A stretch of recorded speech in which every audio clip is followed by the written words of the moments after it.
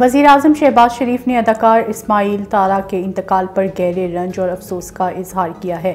शहबाज शरीफ ने मरहूम इसमाइल तारा की बुलंदी दर्जात के लिए दुआ और अहल खाना से ताज़ियत का इजहार भी किया। वज़ी अजम ने कहा कि मरहूम इसमाइल तारा मजाहिया अदाकारी में मुनफरद मकाम रखते थे।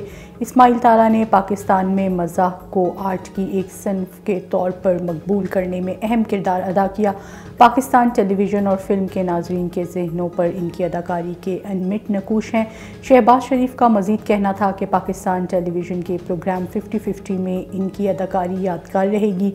इनकी खिदमत हमेशा याद रखी जाएँगी। भारतीय अदालत ने अदाकार अमिताभ बच्चन की आवाज़ की नकल करने पर पाबंदी आयद कर दी है। भारतीय अदालत के हुक्म के मुताबिक अदाकार की इजाज़त के बगैर इनकी आवाज़ की नकल नहीं की जा सकेगी।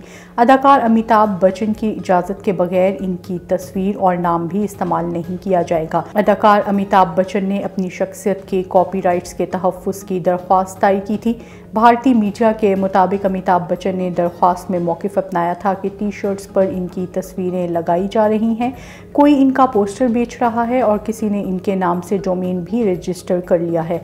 अमिताभ बच्चन ने अदालत से किताब छापने टी शर्ट बेचने वालों और दीगर कारोबार करने वालों के खिलाफ पाबंदी के हुक्म की भी इस्तदा की थी। भारतीय अदाकारा रज़ी चड्ढा ने आज़ाद कश्मीर को वापस लेने की गीदर भपकी पर अपनी ही फौज को निशाना बना दिया।